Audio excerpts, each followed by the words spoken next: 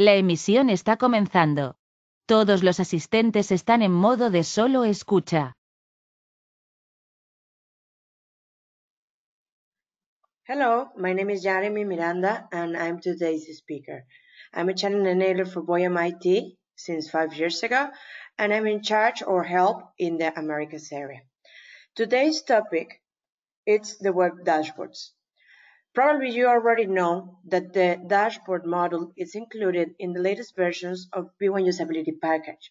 This is an impressive model that allows you to view, execute, and send dashboards directly with information from SAP Business One. But now we just released a new version that allows you to view these dashboards in a web environment. This is today's agenda. We're gonna talk about the installation of B1 dashboards in the case you're a new customer or in the case you're an already customer and you don't know how to enable this model directly with your latest version installed in your computer. We are also are going to talk about the dashboard editor and some functionality included in this model. And finally, the installation of the web dashboards.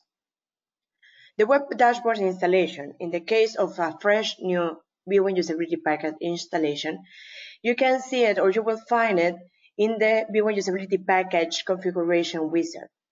Once you finish the installation of B1 usability package, this uh, feature, this window will appear. This is basically a wizard that allows you to select which models of the B1 usability package you want to enable. In this case, in the step 3 of 7, you will find the option to select the B1 dashboard. With this, once you finish this wizard, the installation of the model will start. If you're already a customer and you don't have this model enabled, you just need to go to Administration, Add-ons, B1 Usability Package, B1 Usability Package Configuration, and in the first tab, name B1 Usability Package, you need to mark this checkbox and select B1 Dashboard. This button will change to Update, click on it, and the installation will start. Just remember that like every other model part of B1 usability package, it will create some fields, some user-defined tables. So it's very important to have no users connected during this step. This takes around five minutes, but please remember with no users connected. Now we're going to talk about the dashboard editor. Once the installation is done, a new folder, a new path will appear under Usability Package Model Configuration named B1 Dashboards. We have three different options we can select. The first one, the dashboard configuration, is the default values, for example, for the search field, and the database connection.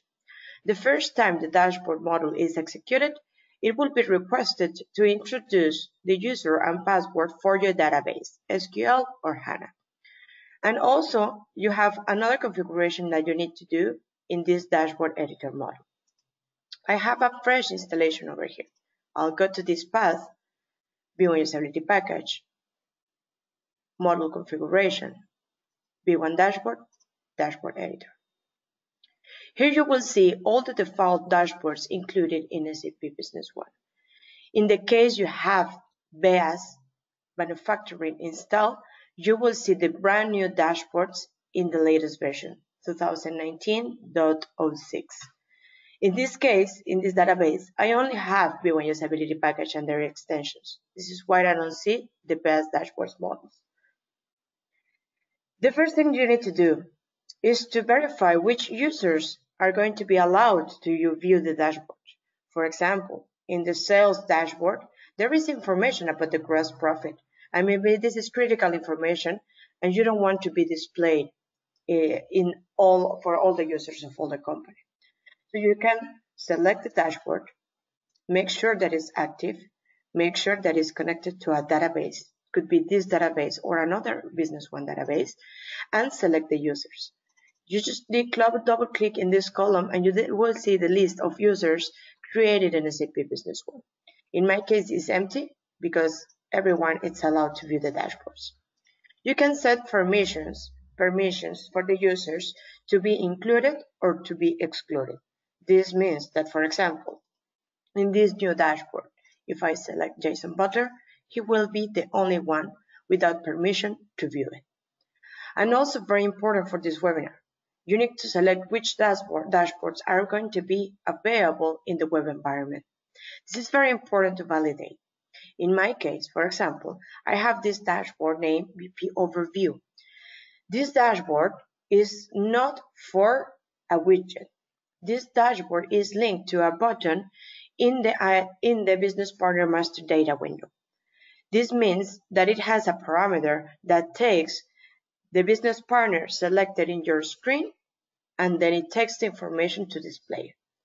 In my case, since this parameter is not visible, is not selectable, I can add it into a widget.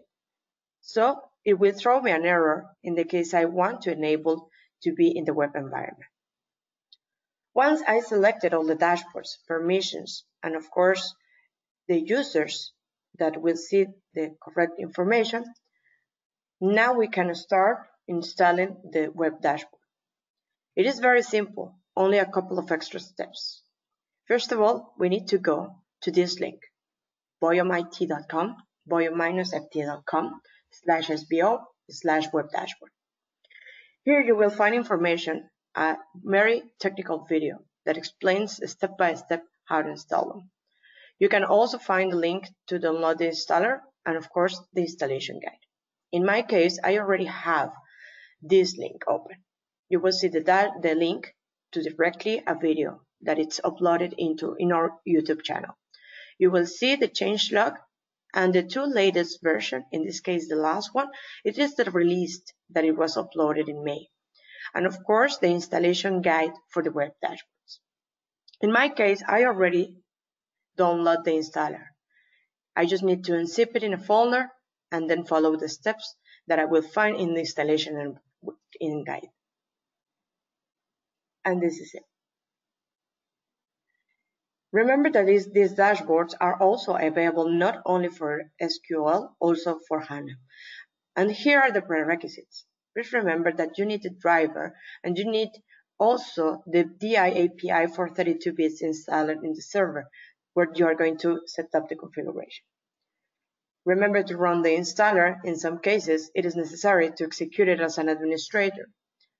And once you finish this, which basically is three clicks with no selectable options, a new folder will be created into your server. We can go to this path. In this path, I have it already over here. It is the same name here in the file, in the help file. I have this application, B1 Dashboard Web Configurator. I'm going to execute it as an administrator and a new window will appear. And basically, this is the main setup that we need to do. We need to introduce the server information. In the case that is SQL, the SQL version. In the case is HANA, of course, as well. And you need to introduce the credentials for your server, for your databases. Once this is done, all the databases will appear when you click the Find Databases button. In my case, I have three databases created in my server. This implementation, this test, and this pre-sales database. I enabled the web dashboards for two of them, for this test database and this pre-sales database. You can also execute this test to make sure that the add-on will connect to the databases, to make sure that the DI API is installed correct, correct with no corruption. So I will close this window since I have everything set up and I can go directly to this link. It is also named directly into the configuration, into the help file. I already have my user and my password and I will log in. The first time, it will take a couple of seconds since the software is connecting and making the login user the DI API. For, in my case, for the two databases that I selected. Now it's connecting, and as soon as it's connected, I will have the information available. Until now, we have set up only the dashboards for the local environment, but I'm, I'm available to see the information that is here created. I have a refresh button I can select and switch between databases. I don't need to log off and log in if the password is the same. And I have all the, uh, the dashboards available that I selected directly in my configuration. I can switch, for example, for the opportunity overview. In my case, this is the service overview. I can switch to the sales overview and load the information. I can log off whenever I don't need to or whenever I finish checking the information. But of course, remember the system is validating the permissions and in the case I need it, I can switch database. New information will appear. And in the case you have BEAS installed in that database, I will be able to see the BEAS dashboards enabled. Like this one, that is a deep analysis with KPIs of all my resources created. If I go back here to my file, you will see exactly the information that I mentioned and the link, of course, to log in locally to the dashboards. In the case you want to enable these dashboards directly into the internet, you will need a certificate, of course, and to generate an SSL certificate file. It is very simple. You just need to open the IIS and select the information requested and the port where you're going to log in. Please remember that the information is needed in your firewall. Sometimes firewalls, they don't have the port open and this information, of course, won't be displayed. So these were the steps to enable the web dashboards. These are very simple and very easy to install. I don't know if, if there are any questions.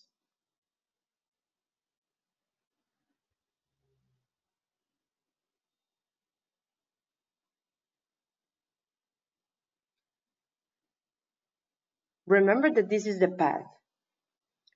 The path to enable to see or to download the web dashboards installer where you can watch the video and of course read the full installation guide. This is all for today. And remember, next week we have another very interesting webinar, how to work with the project model of BEAS manufacturing. Remember to join our webinar series, where you will see and where you will find all this information that is included. There is one last question before we cut the webinar. Phil is asking if the refresh is manual. For now, yes, you need to click on the refresh button. We already have in our community the request to refresh dashboards automatically. Please remember to join our community and vote for this feature. But in the meanwhile, there is a component you can download for Chrome or, or Firefox where it can be refreshed automatically.